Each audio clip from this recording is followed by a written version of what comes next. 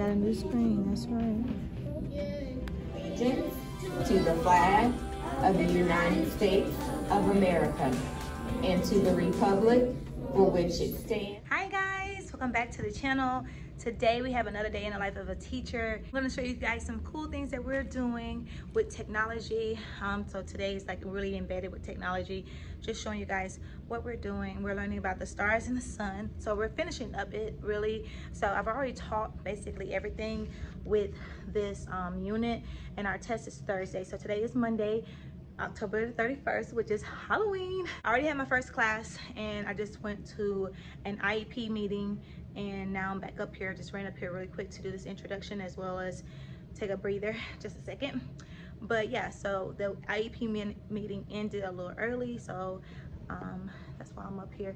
But yeah, I wanna show you guys what my first block did um, and show you guys like our, our can statement. I just really haven't really shown you guys like what how I develop the lesson so i want to make sure i start using those these opportunities to do that. So our standard is recognizing the importance of the sun with reasoning um, basically knowing that the sun um, emits light and heat.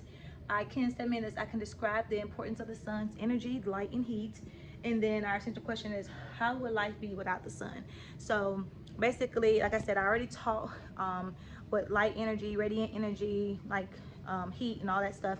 I already taught that that the sun gives off those types of energy and then um, we talked about gravity telescopes stars the differences the um, characteristics of a star all those things. So today i want to embed writing into our lesson so i do a lot of integrated um, integrated learning okay? So we are writing a story dear mr sun and each group so i have four groups and each group has to um, give a sentence about like why they appreciate the sun, thank you, Mr. Sun, or life, how life would be without the sun. Each group is gonna do that and then they're gonna put their drawings one paper like this and then draw a picture. Everybody else, like, so the leader is going to draw the picture and do all the writing. Um, everybody's gonna write their own in their journals, but then she's gonna get the, or he's gonna get the writing and then compile it into one paragraph. Um, and then everybody else is going to go on Google Images and find something that ties into their writing. They're going to throw it to our board. So this is what the other class did. They're going to throw it to our board. Um, a lot of kids wrote about the sunset and like the energy, the heat and stuff like that. So they're gonna throw it to our view board, which I'm gonna be showing you guys all those cool things, and then they're gonna be able to submit it. Um, that's just just like an exit ticket. And so we've already practiced using the whiteboard, so they kind of got, you know, the hang of it. I will show you guys how we are using it in the classroom to enhance our learning, as well as we're going to be using the whiteboard too, or the view board to um, do our bell ringers. So I'm going to show you guys that as well. So I just wanted to hop on and give a quick introduction. line up at the door. It's a spider. It looks good. Perfect for Halloween. I like your nails as well. It's cute. I'm in Stanford was. So that's a spider? Yeah, bad condition. And I'm to fix his life. Ooh. Let me see yours. Yours got eyes. Everybody else, how many how many eyes does a spider have? Two. Two? Eight. Eight, guys. All right, guys, come on up.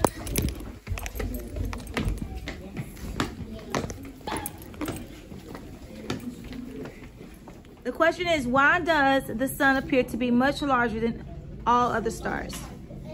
You're going to put your answer choice and then press send. Just like that and press the blue button. There you go. Good job. How come my name's not up there? Did you press send? Oh, it's there. Yeah, All right, good.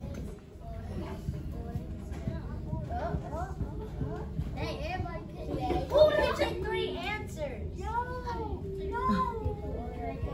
Everybody's A so small? Because they wrote it with a, they typed it in. You could put, the, for these, you can write it with your finger, guys.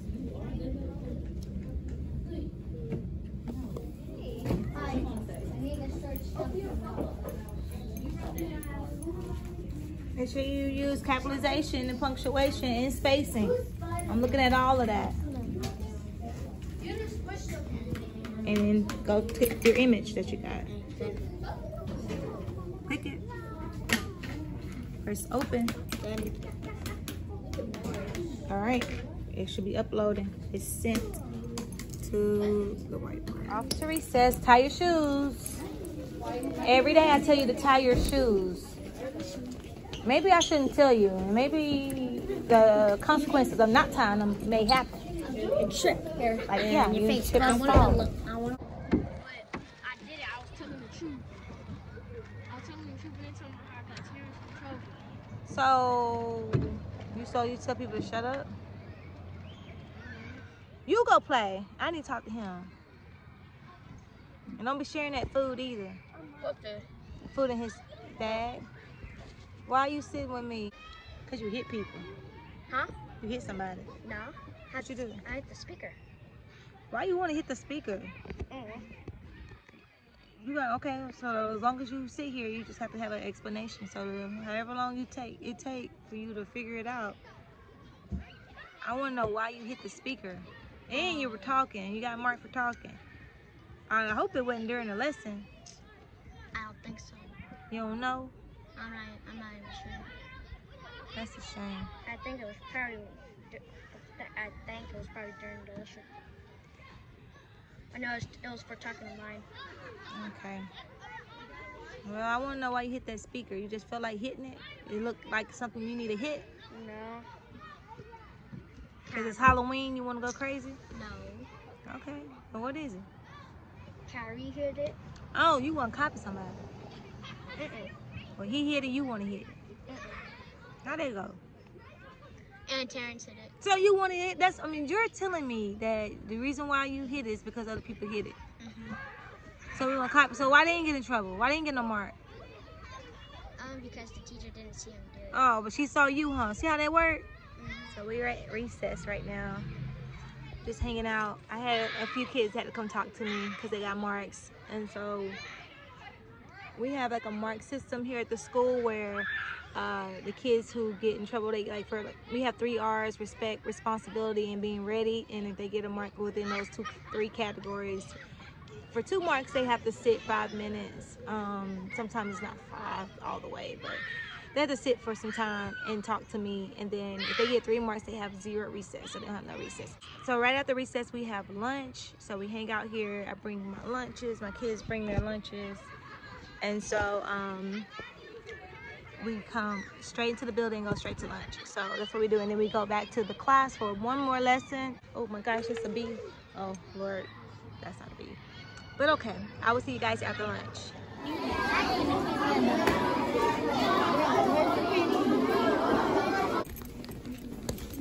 C, the sun is brighter than all other stars? Or D, the sun has more gases than all other stars? Can you send it? You can send it, yes, send it.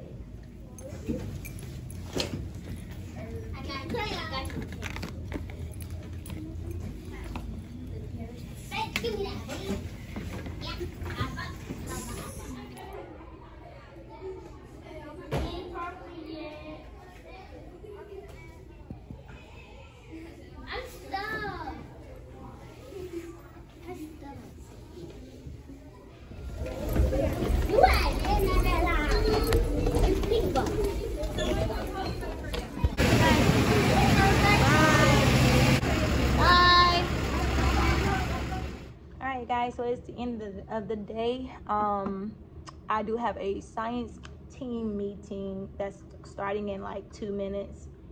And um, I'm going to be doing that. And I already got my classroom like kind of picked up and all that kind of stuff. I'll show you guys what I do to end the day, but it really is not a big deal. I kind of just wipe the desk down before they leave.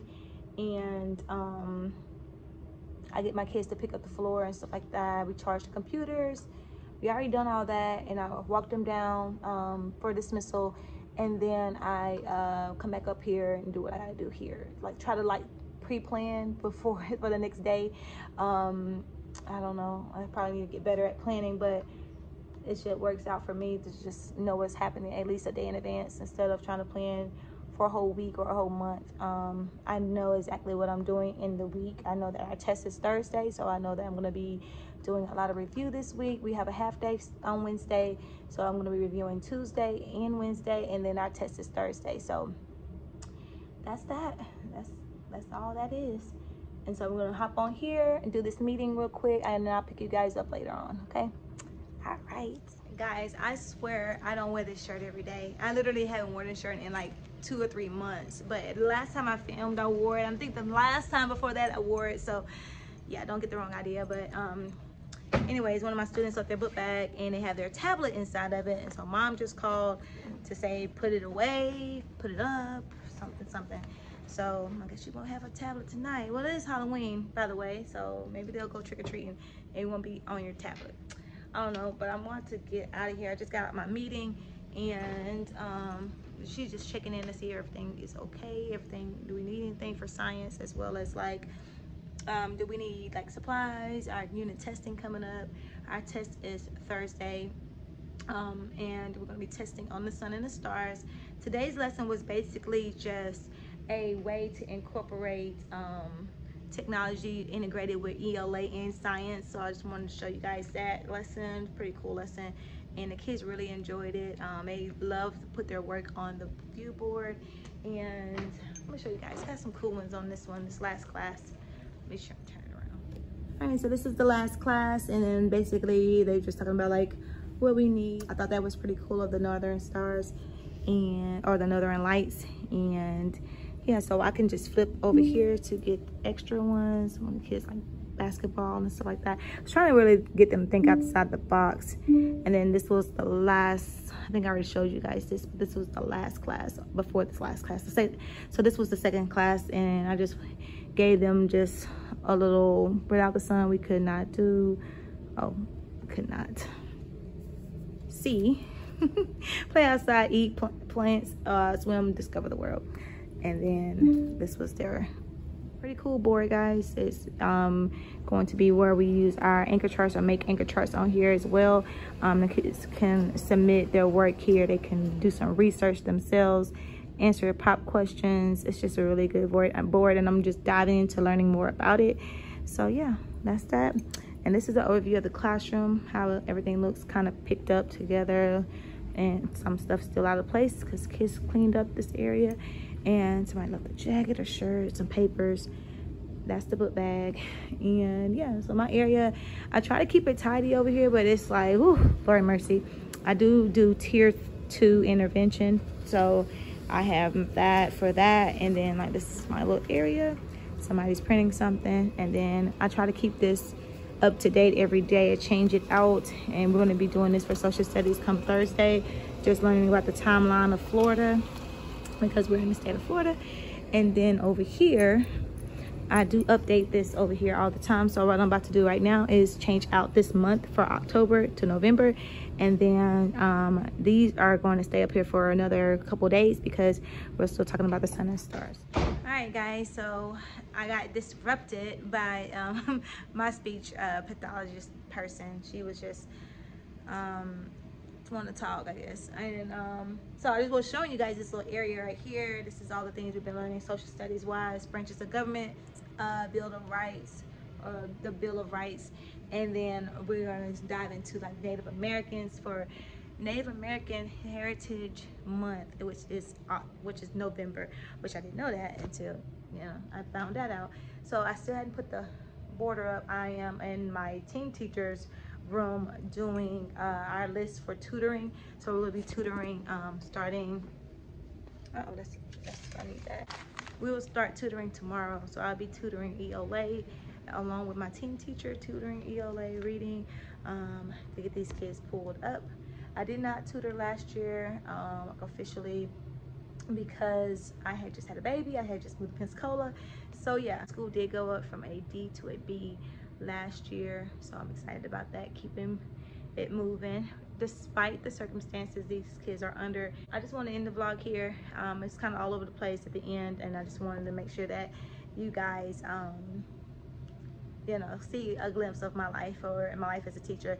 If you guys want to check out the view board i'm gonna have it in the description. I'm just gonna make it permanent right there so anytime you guys see these videos and i mention the view board you'll have it in the description so you can see and um, utilize it for maybe your school may want to try it out maybe you know you want to put it on your classroom wish list or whatever. Um, it's a great tool and i'm going to be showing you guys more um, ways to use it um, in every video that you see. So that's fun and i hope you guys have a great day and i will see you guys on the next video. Don't forget to like comment and subscribe